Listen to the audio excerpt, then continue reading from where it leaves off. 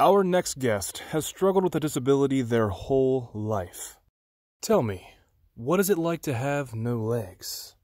Sucks. It really does.